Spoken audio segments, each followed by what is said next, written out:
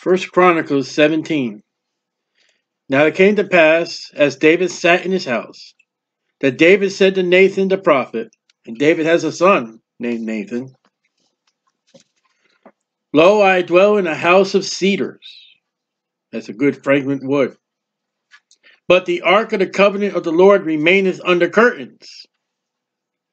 And look at chapter 16, verse 1. So they brought the ark of God and set it in the midst of the tent that David had pitched for it.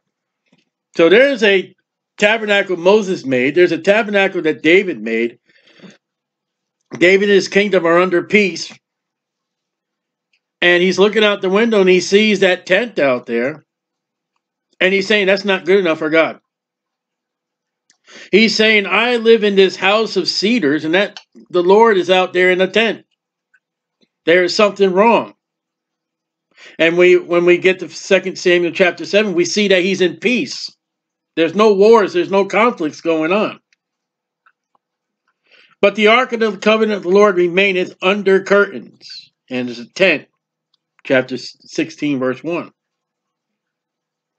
Then Nathan said unto David, Do all that is in thy heart, for God is with thee. Now, David, I mean, Nathan does not seek any counsel of the Lord. He just, okay, David, do it. Do what? Well, the implication is, and what we see afterwards, is David wants to build a temple. David wants to build something of magnified, of honor and grace greater than what David has. And Nathan's like, go ahead and do it. And it came to pass the same night that the word of God came to Nathan saying, Now, why didn't it come to David? God spoke to David countless times. I believe Nathan's got to swallow some crow. Nathan, you told him to do whatever. I mean, Nathan said, you do whatever it is. And God comes up to, uh uh-uh, uh, that's not my word. You go back to David and you tell him what I say. And we got to be careful when we talk because when we say something, we may say something that's not right. And we are liable to to go back and make it right. Now, David is left before verse 4. He's left with the implication that God's going to approve of what I'm going to do. And look what God says I don't approve of it. But the prophet told me. Well, even a good prophet can be wrong. Go and tell David, my servant. Look at that, my servant. Thus saith the Lord Thou shalt not build me a house to dwell in. So, see, when Nathan said, Go ahead and do it, when David speak, it's speaking about a house. Notice nowhere in the Old Testament, nowhere in the Gospels, nowhere in the book of Acts when that temple, whether it's a tent, whether it's Solomon's temple, whether it be the temple built by Ezra or be the temple of, of Herod, it is never called church. It's not the tent, it's not the building. And yet you got churches today, oh, we're, we're King James, we're on this side of Calvary, but they go back and name their churches temples and tabernacles. The New Testament version of temples tells us we are the temple of God. So when you go ahead and call your church a temple, and you go with scripture with scripture, oh, our stones, our building, whatever our, our church is made of, that is of God. That's the body of God. Absolutely not. See, you know what you want. In the Old Testament, the temple, the tent. Yes, that was the meeting house of the children of Israel, but there's one thing different from the building that's in the New Testament. God was in that building. He sat there at the mercy seat. Problem only once a year, twice, could only the high priest go in. This side of Calvary, where the temple is not building, but it's a body. Jesus told him, He said, "Listen, if, uh, uh, something about the temple. Destroy this temple in three days. I'll raise it up." Well, they mistaken it as the bricks and stones, and Jesus said, "No, it's my body." And today, you don't go to a church and Jesus Christ shows up at the altar. Though the Catholics believe that. They believe that Jesus is in that box, and when they do their hocus pocus, that becomes the little body and flesh of Jesus. That's their temple of their mercy seat and the Holy of Holies, where the priest stands. The Baptist churches, oh, here's God. God's here. Yes. But he's not in the pew, he's not in the altar, he's in all the saved individual hearts. And our temple is our bodies if we're saved and the Holy Spirit indwelling with us. And David is looking at that piece of cloth out there. That's not good enough for my God. And yet the Bible says the, the dust and rags that we are, the Holy Spirit indwells with us. And God says, No, I didn't. No, thou shalt not build me a house to dwell in. So what David thought and what Nathan said, go ahead and do, God says no. The men of God can be wrong. Though they sit under ivory, ivory palaces. I can't be wrong. I'm a man of God. Okay, pride just goes before a fall. Go and tell David, and he's going to go tell David. He's going to eat crow. He might have to, you know, and maybe record or not record. He may have to go, David, you know what I said the other day? Yeah, it's wrong. This is what God had to say. Because he told David, do all that's in thine heart. God spoke to him that night. No, you tell David he can't do it. That's God telling the prophet, you got to eat some crow. Thou shalt not build me a house to dwell in. That counteracts verse 2. And that explains what David's mind and David's thought and David's heart is in verse 1 a house. Since the day that I uh, now for have I verse five for I have not dwelt in a house since the day that I brought up Israel unto this day. So see, he dwelt in that tabernacle that Moses built and set up. There he is at the mercy seat. And that's what every carnal Christian wants of their church building. They think literally that God's knocking on their door. That's not the case. He's knocking on a man's heart. And the Lord said, For I have not dwelt in the house since the day that I brought up Israel out unto this day. I've been dwelling with Israel all along. I've had no problems. And we'll see more in depth detail when we get to 2 Samuel. But have gone from tent to tent. And I'm going to assume there the tent that Moses sets up and Aaron in the book of Exodus. And I'm going to assume that that other tent is the one in verse 16, verse 1. Because as far as we're recording from Exodus, uh, the close of Exodus, unto First Chronicles 16, there is never ever any writing to say that they rebuilt or redid that tabernacle. And when we read 16 verse 1, it says tent. And when we come to God speaking, he says from tent to tent. And when you look at the commentators, which they could be right and wrong in some cases, they say, you know, it was from place to place. It don't say place to place. It says tent to tent. So I'm going to assume from the tabernacle that Moses built unto the tent that David made, chapter 16, verse 1. It might be the fact is that God's telling David, if that's the case, that tent that you built for me, because your heart was in it, I'm content. No, pardon the pun. I'm content with what you built for me. Because you because we know David, for his heart is in it. And when we, we're going to do the, the, the covenant made to David on another night, Lord willing, Listen, when we give God our best, when we give God our heart, we may look at it and say, God, it ain't enough.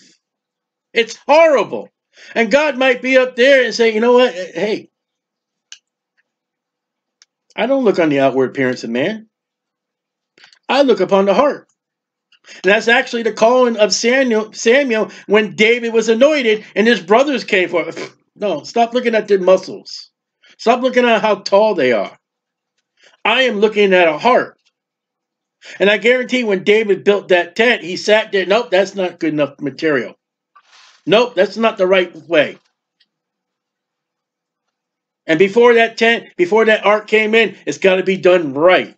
I guarantee that's what David did.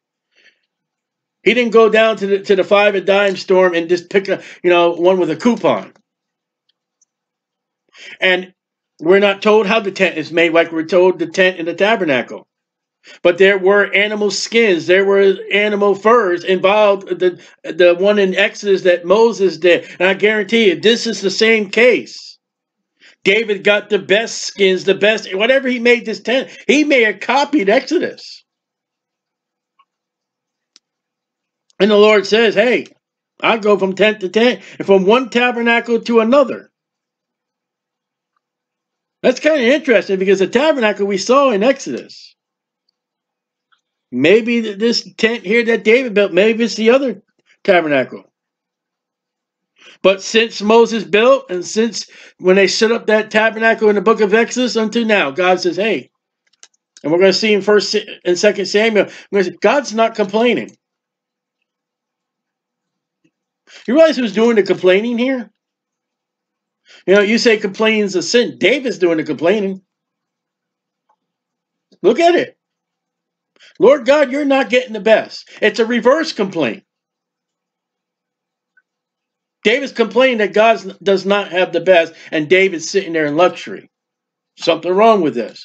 The Israelites in the wilderness, we don't have enough water, we don't have enough food. We don't have enough water. We don't have enough food. We don't have enough water. We don't have, oh, we go back in Egypt. And David's sitting there. Oh, there's not enough for God. What a change. God says, I'm not complaining. I'm not complaining at all. Whithersoever have I whithersoever I, God, have walked with all Israel, spake I a word to any of the judges of Israel, the book of Judges, whom I commanded to feed my people, saying, why have you not built me a house of cedars? Have I ever have you ever heard recordings? Have you ever heard me say, I demand a house? And when you find the law written about that God said he'll put his name in a place. He will put name his name above names among one of the children one of the tribes of the children of Jacob, and it comes to be Judah, in we find out in Jerusalem, which is also the ben, Benjaminite territory, to put his name there. Here is the place we're going to be made, even if it's a tent. Where did the idea of this temple come to be? It came from David. And we're going to read later on when Solomon sets it up, there's a place that says that David gave the plans to Solomon. David becomes a type of God. Solomon becomes a type of Moses because Moses came off that mountain with the plans that God gave him to build his. There are two sets of blueprints. One God gave Moses, and one David will give Solomon. It's David's idea to build that wonderful palace. God says, I'm just happy with a tent. Why have you not built me a house? So Second Samuel chapter 7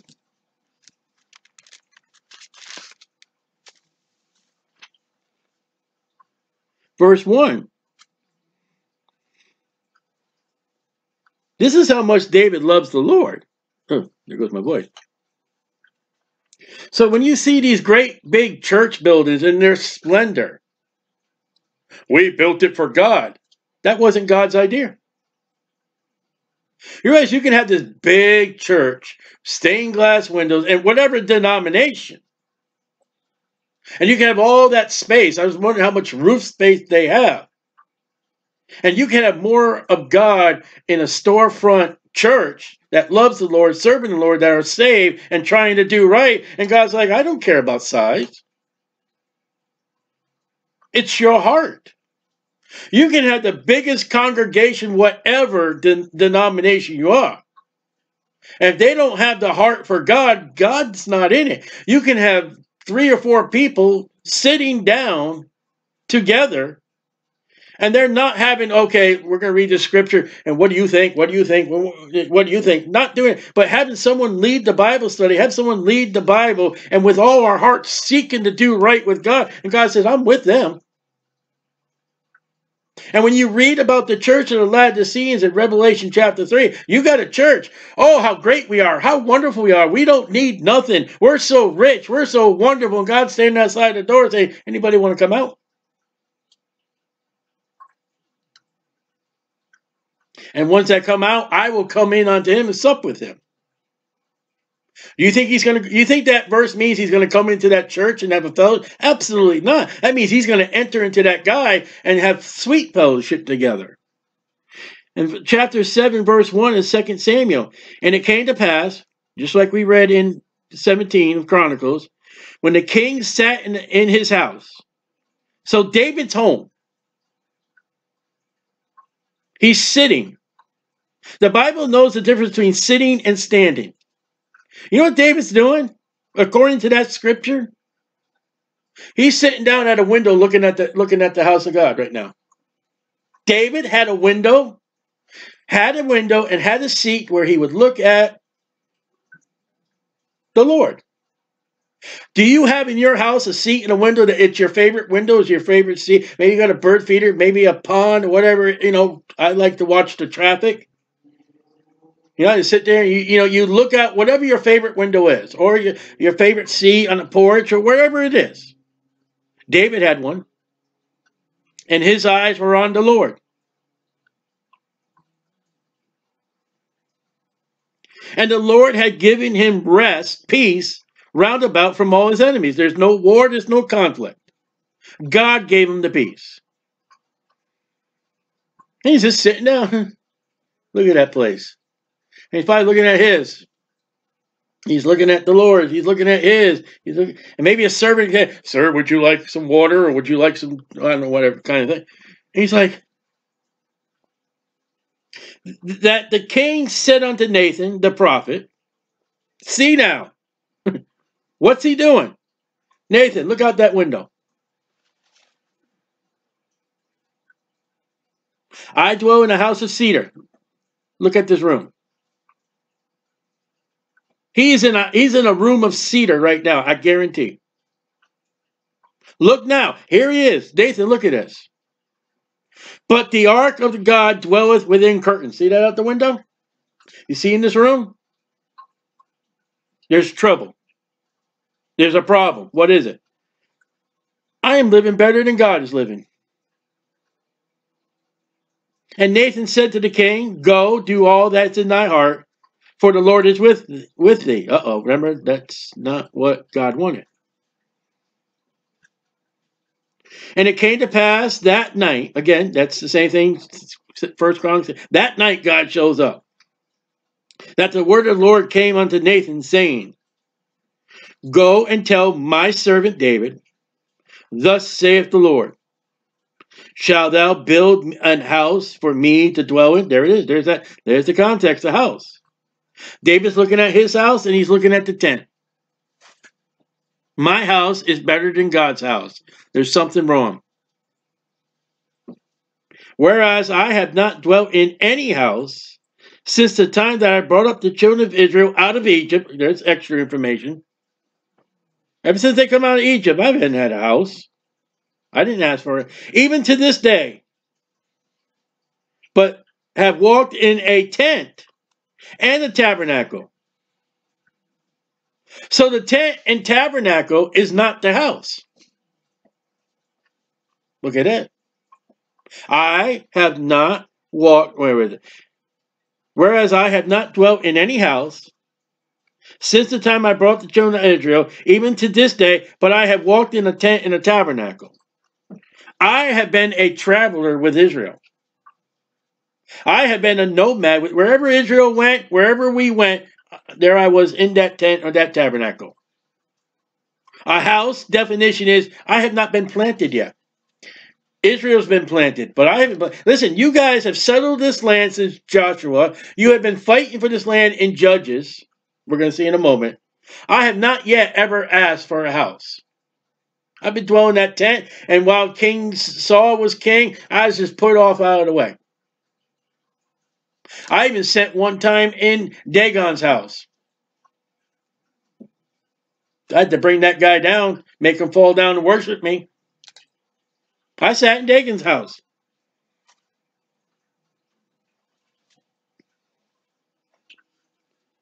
And all the places wherein I have walked. That's kind of funny. God's presence is with Israel. He says, Where I have walked. It was the sons of Aaron, I can't think of the name right now, that carried the ark. Kohathite. Huh? Kohathite. Kohathite. They carried that ark, and that ark was covered with the tent that made the cover in the holy place. God says, I've walked. You know, he also said in the law that I believe we read today, if you go out to go go poopy, cover cover your poopy with the powder of your weapon, because when God comes walking again, he doesn't want to see your poopy on the ground. But I thought you dealt in the ark, in the mercy in the ark. No. His realm is beyond that mercy seat. He is in the camp walking around. Listen, Santa Claus only comes once a year. Jesus Christ showed up 360, well, yeah, 360 days of the Jewish calendar. 12 months or 30 days, the Jewish calendar. God was there all the time. He didn't come at one particular time of the year. Now, the priests came one particular time, atonement, day of atonement. In all the places where I have walked with all the children of Israel, spake I a word with any of the tribes of Israel, whom I commanded to feed my people. Now he said judges in First Chronicles 17, saying, Why build ye not me a house of cedar? I never asked for it. I never demanded it. I commanded commands of commands, the rights and laws and all that. I never said. Look how long it took. Now, Judges, let's see, Judges, the first chapter, I'm going to, don't, I mean, don't go there. But 1425 BC, and this says BC 1042. So you're looking at approximately 400 years before someone in Israel said, we're doing a lot better than God. When we came in this land, we fought for this land. The houses were built, the vineyards were planted, the, the fig trees were, were growing and ready to be picked. Everything was prepared for us. The rock walls were built, the wells were dug. We just had to conquer and move in. And approximately 400 years, forgive my, my math, finally someone comes up to the plate and says, God, we got a problem here. What's the problem, David?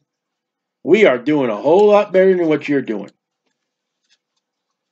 But you know what David's not seeing? Where God dwells in heaven, where he's got the cherubims, he's got the angels, he's got glory. But he's not really getting that much physical glory in the nation of Israel, in the land, living out in a tent. When the king is living in a palace, you want a revival in America when that president looks out the White House and says, God, I am doing far much better than you are. We got to give you something better. How can you give something God the better in America to, to get right with God, to make America great again, and to be a Christian nation? You got to put the Bibles and Jesus Christ back in the courtrooms, back in the schools.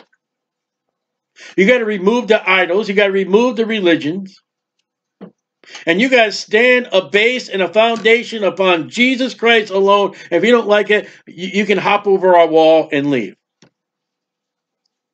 But you're not going to do that. And America will not be made great. Nope. David, he's making Israel great. And wait till you see the celebrations and the great and the, and the joy when Solomon builds that temple. Glory to God. And that's not New Testament. We don't build temples. We don't build those things for God. We build ourselves up. We're to take a Christian who's saved and raise them up, grow them, fit them properly in the body. That's the growth.